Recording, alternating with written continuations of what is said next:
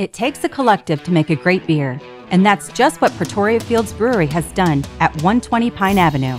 From the fields of southwest Georgia, delivered to the hands of the brewmaster, grains, berries, and honey come together to build a better downtown, one pint at a time. But Pretoria Fields Brewery is more than just beer. It's a live music venue, a streaming radio station, and an event center offering good eats and entertainment.